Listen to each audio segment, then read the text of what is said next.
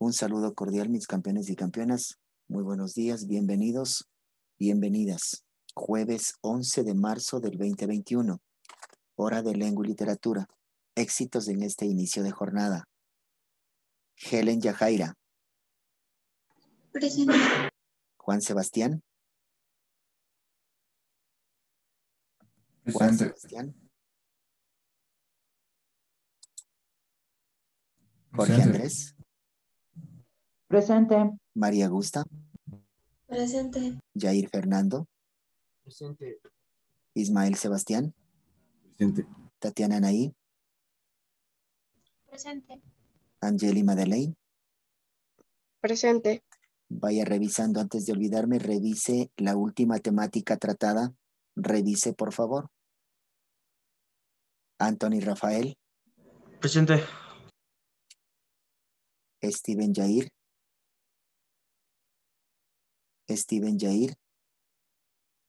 José Daniel, Presente. David Mateo, Presente. Sheila Sofía, Presente. John Jairo, Presente. Joseph Sebastián, Presente. Natalia Abigail, Presente. Madeleine Carley, Presente. Steven Alexis,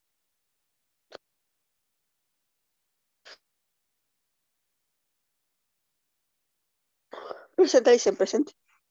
Emily Isabel, Presente. Justin Jamilet, Presente. Emilia Alejandra, Presente. Pablo Alexis, Presente. Alejandro Isaac, Presente.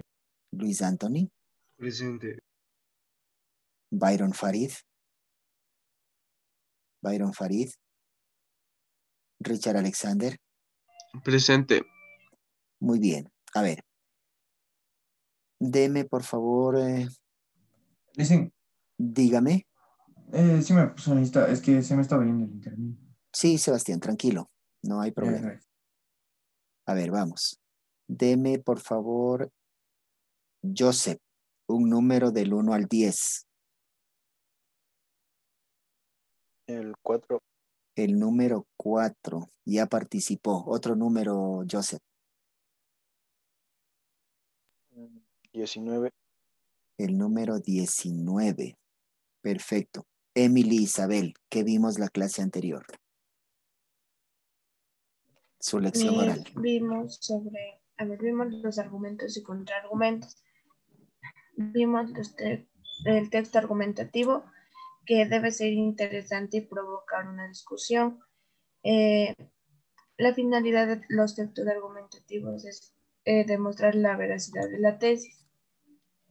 El, el, el argumento principal o tesis del eje temático del ensayo argumentativo parten los puntos eh, esenciales, ideas o razones que el emisor arguye.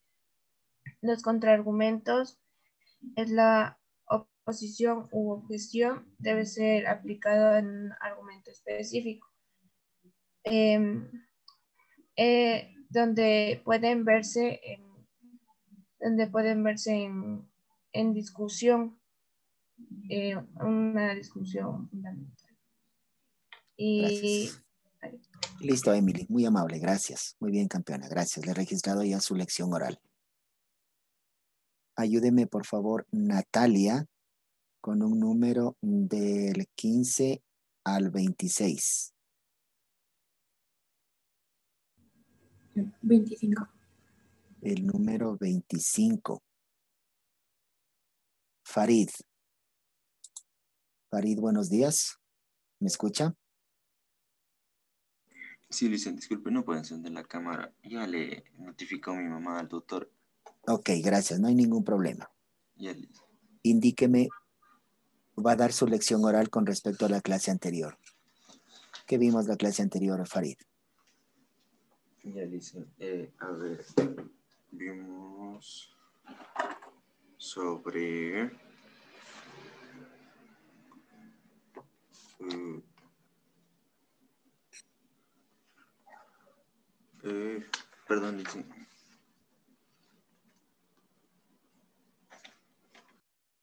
¿Qué vimos la clase anterior, Farid?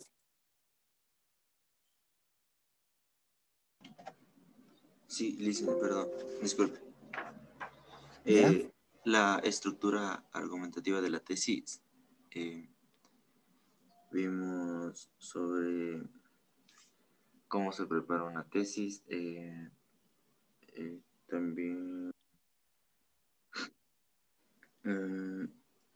revisamos un, un texto para, para determinar A ver, no- a ver, cuando usted vaya a dar lección oral, no me mencione los temas que hemos visto en la clase anterior. Cuando yo le digo qué vimos la clase anterior, usted tiene que darme un resumen completo de la clase anterior, Yo- no los temas y subtemas. A ver, Farid, entonces, ¿qué vimos la clase anterior? Ya, a ver, entonces, vemos que la, la- la preparación de una tesis es primeramente eh, calificar una idea principal que se quiere transmitir al público.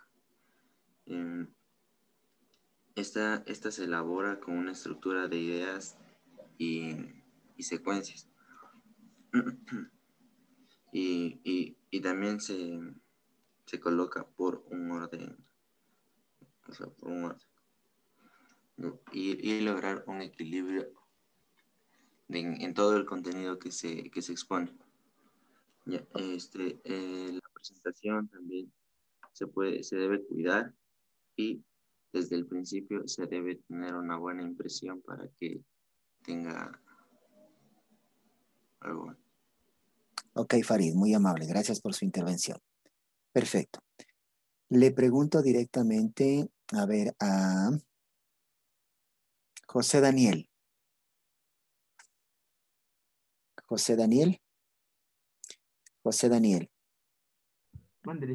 ¿qué son los contraargumentos?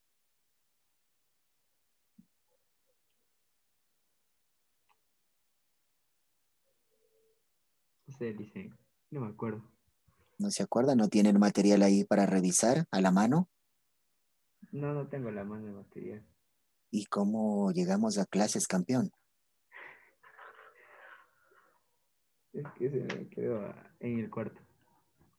Mm, Bueno, Yair quiere participar. Cuénteme, ¿qué son los contraargumentos, Yair?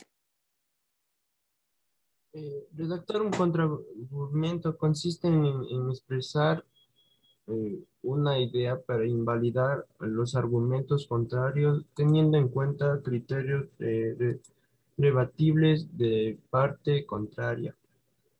Ok, gracias, Yair. Muy bien. Gracias.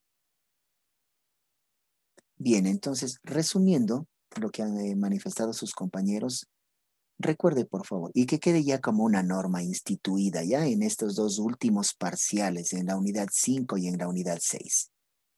Clase de lengua y literatura, usted se conecta y aperture el libro, aperture su cuaderno, revise, interprete, analice la información, porque puede ser que a usted le corresponda dar la lección oral. Queda establecido entonces siempre estudiar, revisar la asignatura para todas las horas de lengua y literatura. Muy bien. Vamos a complementar la última actividad, el último taller de la página 146. Vamos a trabajar con el taller de la 146. ¿Me confirman si ese taller está trabajado o no? Lo vamos en este momento a trabajar, ¿sí? Lo trabajamos este momento. Califico a través de la pantalla el taller y usted recuerde, está en la obligación de subir el taller en el formato a la carpeta del portafolio talleres. No se olvide. A ver, vamos con la con el taller de la página 146 y 147. La primera actividad. Atentos, por favor. Lea con atención el siguiente texto. Imagine que es usted una de esas personas a las que no les gustan las mascotas. desarrolle la contraargumentación o argumentos opuestos de los párrafos señalados con A y B. Vamos entonces a contraargumentar. Nos vamos a poner en el plano de que a nosotros no nos agradan las mascotas, no nos gustan las mascotas. Eso es lo que dice el texto, que nos pongamos en ese ámbito de que a nosotros no nos gustan las mascotas, para con ese criterio poder emitir los contraargumentos, es decir, las ideas opuestas a los argumentos que están en A y B. Empecemos con el párrafo A. Atentos. Estudios realizados en Estados Unidos señalan que los perros y los gatos ahora son un miembro más de la familia. Se invierte mucho dinero en ellos. La vida en un hogar estable, vacunas, salir a la calle con correa y el acceso a tratamiento médico como cualquier humano está haciendo que las mascotas en los países desarrollados vivan más años. Ahí están los argumentos. Recuerde, haga cuenta de que a usted no le gustan las mascotas, porque eso pide la actividad. No le gustan las mascotas. Y con lo que escuchó, escriba contraargumentos que se opongan a lo que dice el texto. Trabaje, por favor. Puede poner uno o dos contraargumentos. Ponga primero la letra A mayúscula, llave, para que sepa que son los contraargumentos del eh, párrafo A. Redacte, por favor. Insisto, recuerde, haga cuenta que a usted no le gustan las mascotas y en función de lo que dice el párrafo A, contraargumente, opóngase a lo que dice el, el párrafo A. Trabaje. Uno o dos contraargumentos muy bien redactados, por favor. Trabaje.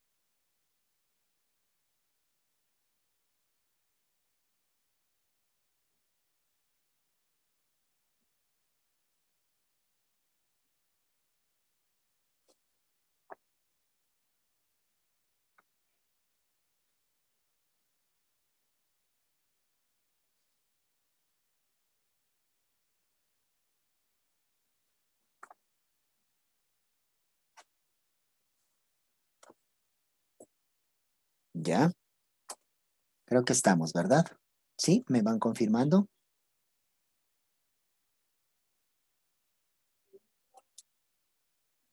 Contraargumentar es emitir criterios opuestos a lo que dice el texto. ¿Ya? Criterios opuestos a lo que dice el texto.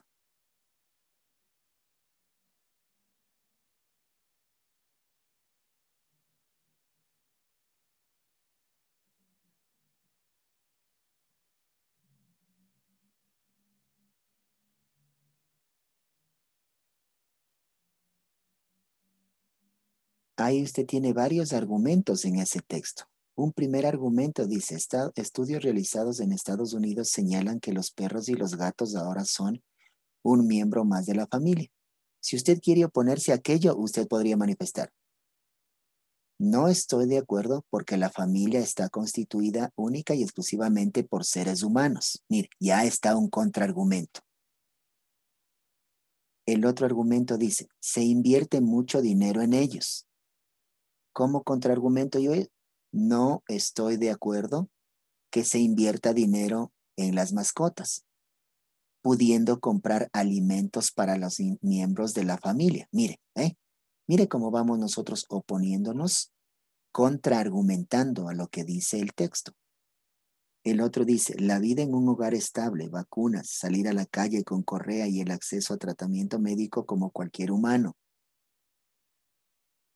Está haciendo que las mascotas en los países desarrollados vivan más años. Como contraargumento aquello, de igual manera, la prioridad en la atención médica y cuidados la tienen los seres humanos, mas no las mascotas. Mire, como ya estoy contraargumentando, porque el ejercicio me dice que haga cuenta como que somos personas que no nos gustan las mascotas. O sea, solo estamos poniéndonos en un campo eh, de, ejercitación únicamente, de un campo eh, irreal, imaginable, porque considero que a todos nos apetece las mascotitas y la mayoría de nosotros tendrá una mascota en casa, sea un perrito o sea un gatito, ¿no es cierto? Listo, hemos terminado la actividad número uno. Actividad número dos, vamos con el párrafo B. El párrafo B dice, hace tres décadas los gatos y los perros solían ser sacrificados por el moquillo, infecciones, cáncer o heridas por una pelea con otro animal o al ser atropellados por un vehículo. Pero Colin Harvey profesor de la Escuela de Veterinaria de la Universidad de Pensilvania, destacó que ahora existen vacunas. Las infecciones se curan fácilmente y las correas que deben llevar por ley los protegen de accidentes. Aunque muchas de estas medicinas existen de hace muchas décadas, los dueños de mascotas no tenían hasta hace poco la disposición de gastar dinero en animales que no eran bien recibidos dentro de la casa. ¿Ya? Mire, ahora tenemos en cambio nosotros un texto que hace referencia a las enfermedades, a las infecciones, a las dificultades que perros y gatos suelen tener, ya sea por accidente o por este tipo de enfermedades. Hay un eh, profesor de la Escuela de Veterinaria, Colin Harvey, que manifiesta que existen ahora vacunas que curan con mucha facilidad las infecciones. Entonces, como a usted no le gustan las mascotas, entonces refiérase por favor en contra de lo que dice el texto. Trabaje. Seleccione un argumento de los que están en el texto y a ese argumento usted contrapóngase.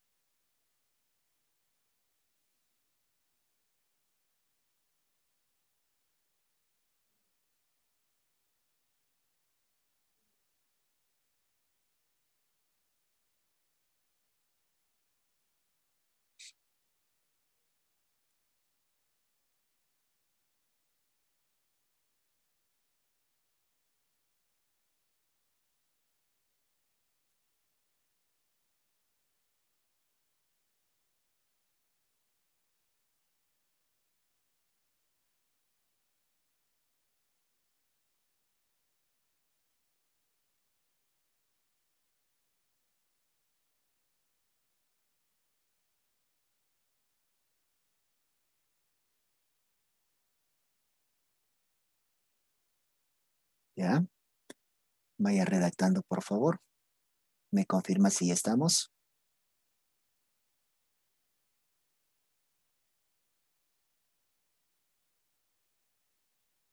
¿Quién terminó ya? ¿Joseph? Anthony terminó, Emilia ya. ¿Quién más terminó? Me va marcando una pantalla. Gracias, Sheila.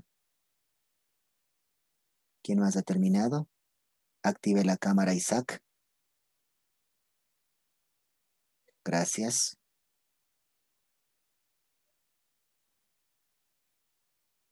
Me confirma Farid si ya terminó. Eh, sí, yo mismo estoy. Gracias. Steven, ¿me confirma, por favor? Igual, ese yo invito. Ya, gracias. Tatiana. Sí, Lisa. Muy amable. Pablo. Excelente, gracias. Natalia. Gracias. Emily. Gracias, John Jairo. Emily. Gracias. Sebastián. Gracias. María. Gracias. Andrés.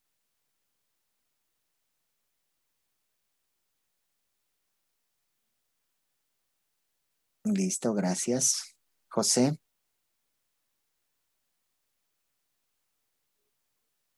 José.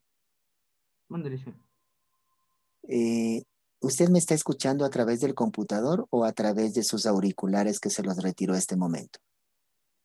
O sea, eh, me saco los auriculares para contestarle por el micrófono, porque por el micrófono no se, no se oye cuando se eh, Enfóquese por favor a la, a la, carita, tenga la bondad, José. Póngale la, la cámara un poco más abajo. Exacto, ¿ya? Perfecto, vamos a trabajar. Vamos a trabajar, José. Bueno, ¿Ya? ¿Me confirma Madeleine si terminamos ya? Listo, campeona, gracias. Emilia. Bien, creo que todos hemos terminado, ¿cierto? La actividad número uno. Vamos a la segunda actividad, página 147. La página 147. Conteste. El argumento del siguiente anuncio es analógico.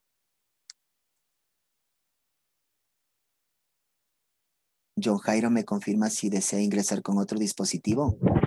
Sí, dicen por favor. Repito, conteste. El argumento del siguiente anuncio es analógico. Compara la camioneta con una persona mediante la hipálague, una figura literaria que transfiere las cualidades de un sujeto a un objeto, de modo que se describen los beneficios de la camioneta marca X como si fuera un trabajador americano. Fuerte, recio, jovial, atrevido, excelente presentación personal y probada experiencia. Se ofrece para trabajar en cualquier tipo de negocio.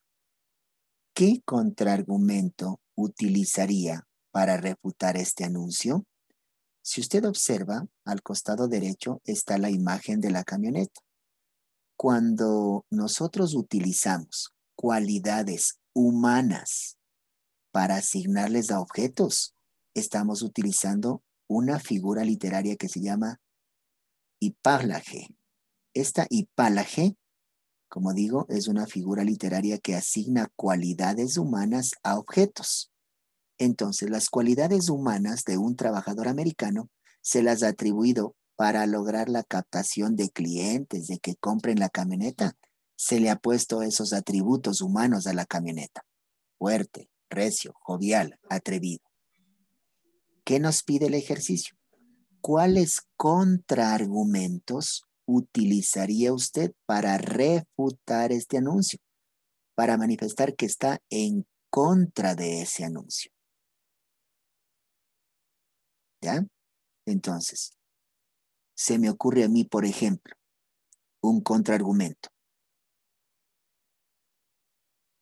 La camioneta refiere débil, consume mucha gasolina, no sirve para trabajos forzados, no carga más allá de un quintal.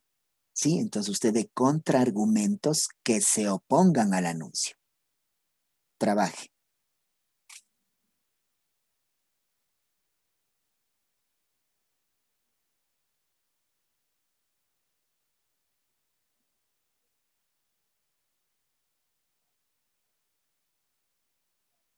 En este caso, usted puede utilizar los antónimos del anuncio para poder usted contraargumentar, contraponerse.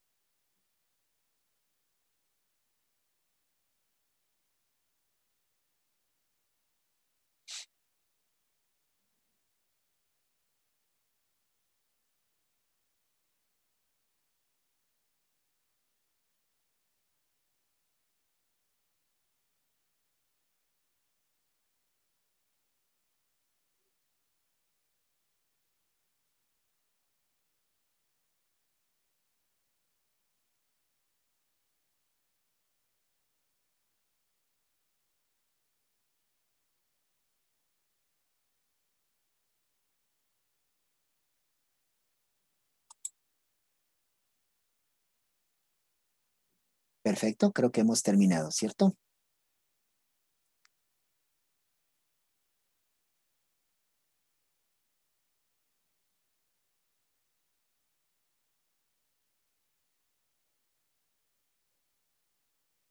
Muy bien, hemos terminado, ¿sí?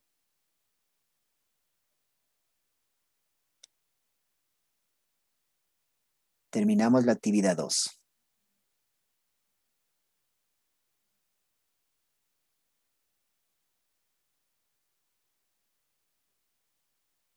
¿Me confirman? Bien. La actividad número 3. La actividad número 3. Investigue quién fue George Orwell. Elija entre Rebelión en la Granja. Rebelión en la Granja, en alguna parte hemos escuchado ese título.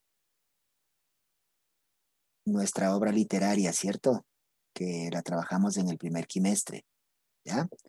Entonces, con ese referente de la rebelión en la granja, presente ante la clase un resumen de la obra.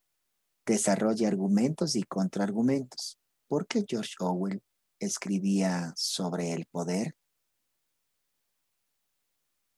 Recordemos la temática que trataba la rebelión en la granja. Recuerdan que George Orwell había considerado la parte, ya ingresó Anthony. Ya está dentro de la clase Anthony, que creo que tuvo dificultad con la conexión. Entonces les decía que George Orwell escribió Rebelión en la Granja eh, comparando la revolución eh, rusa, consideraba a Lenin, a Stalin, y los personajes de la granja, ellos fueron cambiados de nombre para representarles a Lenin, ¿sí? a Stalin y a varios personajes de la Revolución Rusa. Y em, el escritor hacía referencia a todos estos eventos. Entonces usted argumente con esta explicación que le estoy eh, realizando, argumente. La rebelión en la granja es una obra de George Orwell que trata sobre la revolución rusa, considerando a los principales personajes de la obra como son Lenin y Stalin. Punto. Esa sería la respuesta. Trabaje, por favor, con la explicación. Anthony, ¿está trabajando? Sí, me qué pregunta estamos. Estamos en la número 3. Ya, señor, gracias. Ok, ¿ya? Redacte la respuesta número 3 conforme a la explicación que le hice.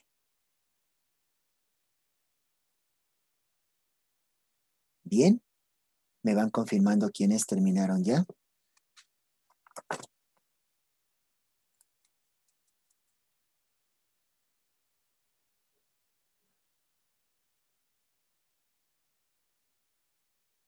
Perfecto.